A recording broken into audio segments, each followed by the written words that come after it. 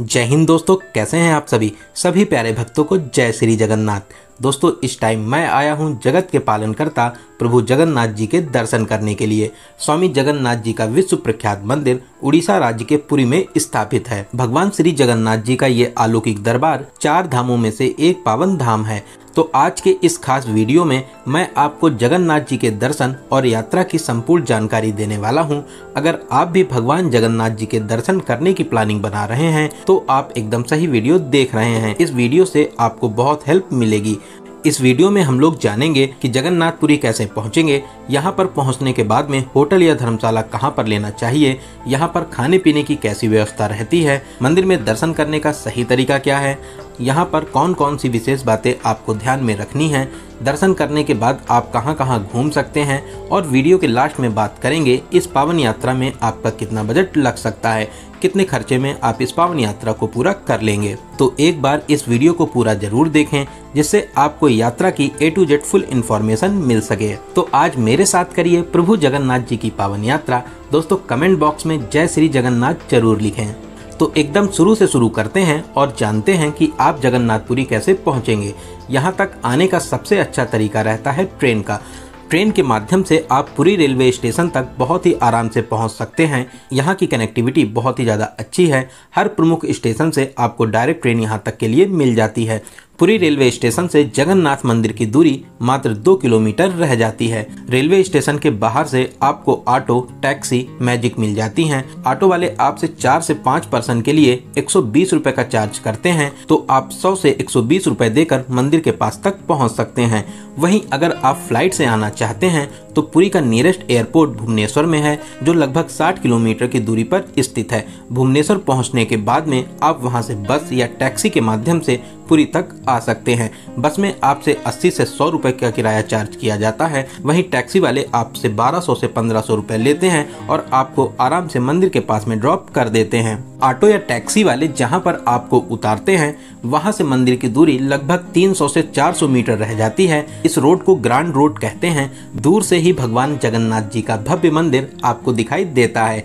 एक बात आप ध्यान देंगे और देखेंगे कि आप मंदिर को किसी भी दिशा से देखते हैं तो मंदिर के शिखर पर लगा चक्र हमेशा आपकी तरफ़ ही दिखाई देता है। ये यहाँ की बहुत ही विशेष बात रहती है। तो चलिए अब हम लोग पहुँच चुके हैं जगन्नाथपुरी।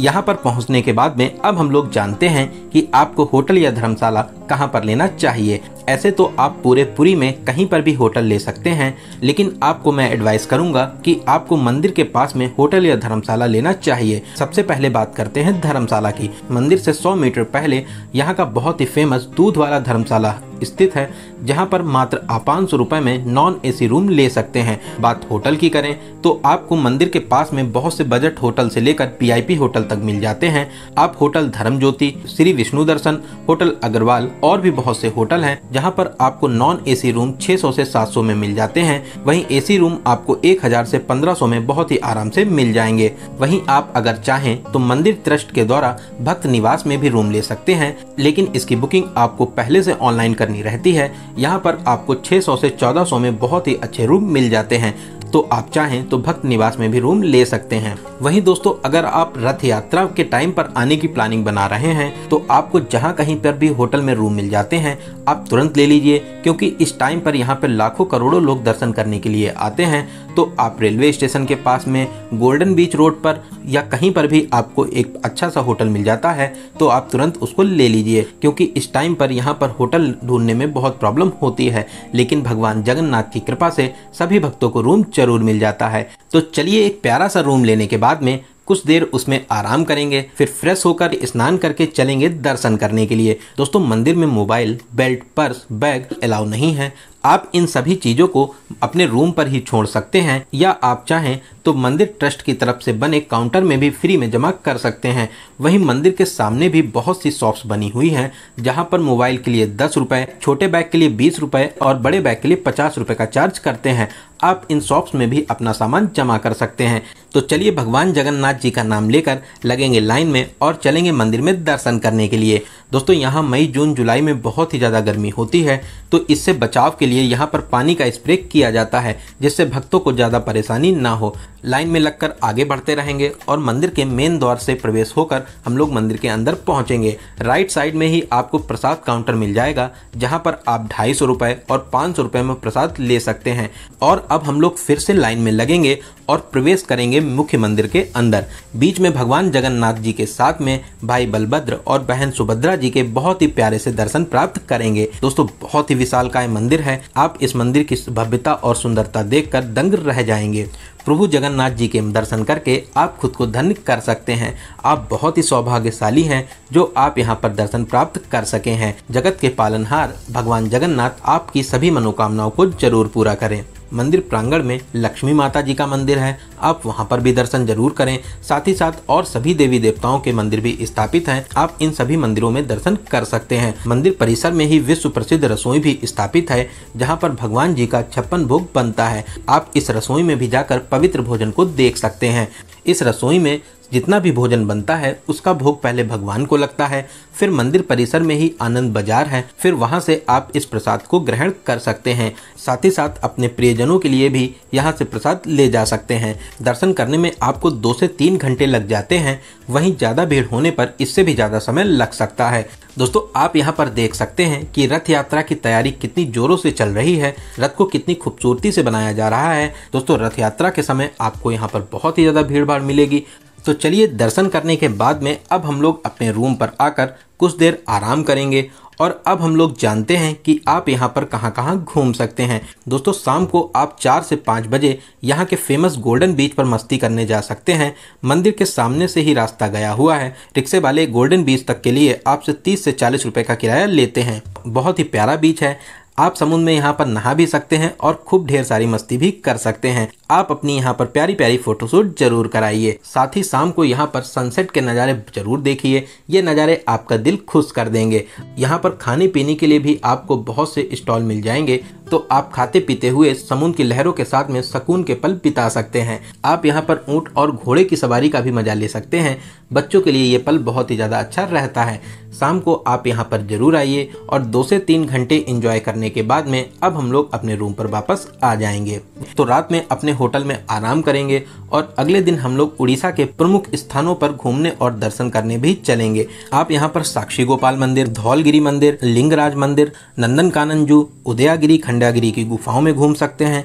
साथ ही साथ यहाँ के फ़ेमस कोनाट सूर्य मंदिर में भी दर्शन करने जा सकते हैं। कोनाट सूर्य मंदिर के पास में बागा बीच स्थित है। वहाँ पर भी आप घूमने जा सकते हैं। ये सभी यहाँ के बहुत ही फ़ेमस प्लेसेज हैं। आप इनको बस या टैक्सी के माध्यम से कवर कर सकते हैं। आपको यहाँ पर बहुत से टूर एंड ट्रेवल वाले मिल जाएँगे। बस की बुकिंग आप एक दिन पहले इन्हीं के माध्यम से कर सकते हैं, जिसमें आपसे ढाई सौ से चार सौ रूपए बस का किराया लिया जाता है। सुबह छह बजे बस जाती है। पूरे दिन घुमाने के बाद में शाम को छह से सात बजे आपको यहीं पे ड्रॉप कर देती है। तो अगर आप सस्ते में घूमना चाहते हैं तो आप बस के माध्यम से आराम से इन सभी जगहों को कवर कर सकते हैं। वहीं आप अगर प्राइवेट कार से जाना चाहते हैं तो एसी कार के लिए आपसे तीन हज़ार रूपए लिए जाते हैं। वहीं नॉन एसी कार में आपसे छब्बीस सौ रूपए का चार्ज करते हैं तो मैं आपको एडवाइस करूँगा, अगर आप तीन से चार लोग हैं तो आप एक प्राइवेट कार कर लीजिए। आराम से तीन हज़ार रूपए देकर बहुत ही अच्छे से इन सभी प्लेसेस को कवर कर सकते हैं। तो चलिए चलते हैं अपने पहले प्रमुख मंदिर, साक्षी गोपाल मंदिर में दर्शन करने के लिए, जो पुरी से लगभग 20 किलोमीटर की दूरी पर स्थापित है।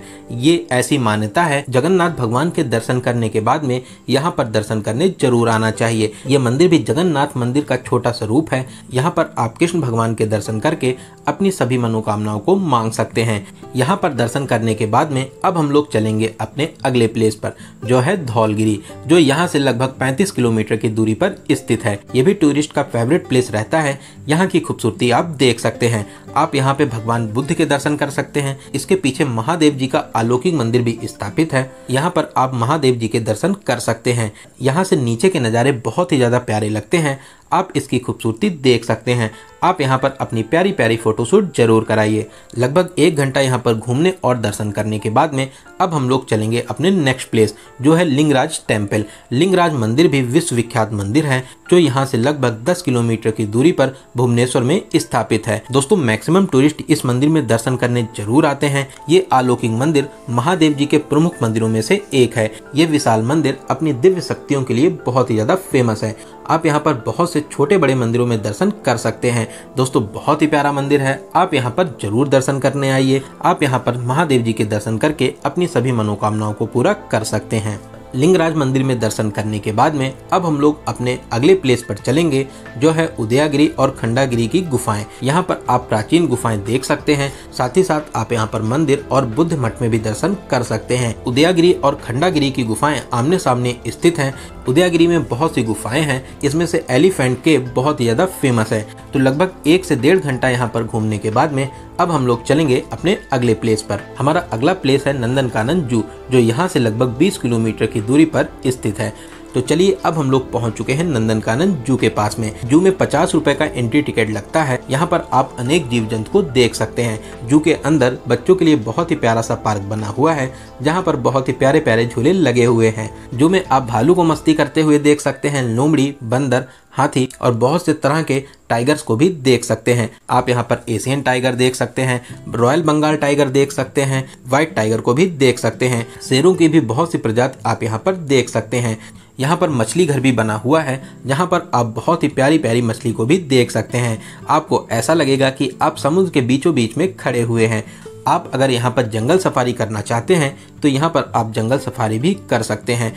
दोस्तों, यहाँ पर दो से तीन घंटे घूमने के बाद में अब हम लोग चलेंगे अपने सबसे famous place Konark sun temple में दर्शन करने के लिए, जो नंदन कानन जू से लगभग पैंसठ किलोमीटर की दूरी पर समुद्र के किनारे स्थित है। दोस्तों, ये विश्व विख्यात सूर्य मंदिर हमारी गौरवशाली वास्तुकला का खूबसूरत उदाहरण है। ये अपनी अनेक खूबियों के लिए जाना जाता है। यहाँ पर आप अगर शाम को आते हैं तो आप यहाँ पर शाम को होने वाले लाइट और साउंड शो को भी देख सकते हैं।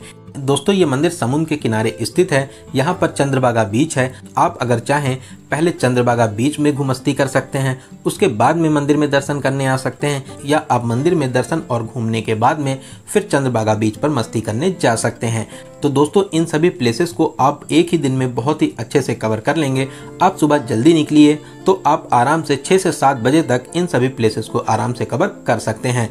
अगर आपकी ट्रेन शाम की है तो आप शाम को अपने शहर के लिए वापसी कर सकते हैं। वहीं अगर आपके पास में एक दिन का ऑल टाइम है तो आप चाहें तो अगले दिन चिल्का झील में भी इंजॉय करने जा सकते हैं। तो चलिए जानते हैं यहाँ पर आने का बेस्ट टाइम क्या रहता है। आप यहाँ पर जून, जुलाई में होने वाली रथ यात्रा में शामिल हो सकते हैं, या आप सितंबर, अक्टूबर और सर्दियों में यहाँ पर घूमने आ सकते हैं। सर्दियों में यहाँ पर बहुत ही ज़्यादा भीड़ भाड़ रहती है, क्योंकि मई और जून में यहाँ पर बहुत ही ज़्यादा गर्मी होती है तो मैक्सिमम लोग यहाँ पर सर्दी में दर्शन करने के लिए आते हैं। तो चलिए अब जानते हैं यहाँ पर खाने पीने की आपको क्या क्या फैसिलिटीज़ मिलती हैं। दोस्तों, यहाँ पर आपको प्योर वेज खाना मिलता है। बहुत से यहाँ पर ढाबे भी आपको मिल जाएँगे। या आप चाहें तो यहाँ पर स्ट्रीट फ़ूड भी इंजॉय कर सकते हैं। वहीं आपको यहाँ पर बहुत ही अच्छे अच्छे रेस्टोरेंट भी मिल जाएँगे। आप यहाँ पे अग्रवाल रेस्टोरेंट में भोजन कर सकते हैं। यहाँ पर बहुत ही स्वादिष्ट आपको भोजन मिलता है। तो आपको यहाँ पर खाने पीने में कोई भी प्रॉब्लम नहीं होगी। तो चलिए अब बात करते हैं सबसे ज़रूरी क्वेश्चन बजट की। कितने बजट में आप इस पावन यात्रा को पूरा कर लेंगे? दोस्तों, मैं मान के चलता हूँ कि आप कम से कम दो या तीन लोग तो यहाँ पर दर्शन करने आएँगे ही आएँगे और आप अपना प्लान टू डेज़ और वन नाइट का बनाते हैं या थ्री डेज़ टू नाइट का भी बना सकते हैं। और आप उड़ीसा के मेन प्लेसेस पे घूमने भी जाते हैं तो आप मान के चलिए कि पाँच हज़ार से छः हज़ार पर पर्सन के बजट में बहुत ही अच्छे तरीके से इस यात्रा को पूरा कर लेंगे। तो दोस्तों, यहाँ पर मैंने भगवान जगन्नाथ जी की यात्रा की पूरी जानकारी को बहुत ही अच्छे और सही तरीके से देने की पूरी कोशिश की है। मैंने सभी क्वेश्चंस को कवर करने की पूरी कोशिश की है। अगर फिर भी आपके कोई क्वेश्चन रह जाते हैं तो आप हमें कमेंट के माध्यम से पूछ सकते हैं। बहुत ही जल्दी आपके कमेंट का रिप्लाई दिया जाएगा। दोस्तों, आपके वीडियो से रिलेटेड कोई भी सुझाव हो तो आप हमें कमेंट बॉक्स में ज़रूर बताइएगा। अगले वीडियो में उनको ज़रूर शामिल किया जाएगा। आपको ये वीडियो कैसा लगा और आप इस वीडियो को कहाँ से देख रहे हैं कमेंट बॉक्स में ज़रूर लिखिएगा। अगर आपको ये वीडियो अच्छा लगा हो तो अपने एक लाइक से हमें मोटिवेट ज़रूर करें। आपके एक लाइक से हमें बहुत ही ज़्यादा मोटिवेशन मिलता है तो प्लीज़ लाइक और शेयर ज़रूर करें। अगर आपने अभी तक हमारे चैनल को सब्सक्राइब नहीं किया है तो प्लीज़ सब्सक्राइब ज़रूर करें। साथ ही साथ बेल आइकन प्रेस करने के बाद में ऑल नोटिफिकेशन को ज़रूर क्लिक करें। तो चलिए दोस्तों, अब मिलते हैं किसी ऐसे ही इन्फॉर्मेटिव वीडियो में। तब तक आप अपना और अपने परिवार का बहुत ज़्यादा ख्याल रखें। आपकी यात्रा सफल, सुगम और मंगलमय हो। जय हिंद जय भारत जय श्री जगन्नाथ।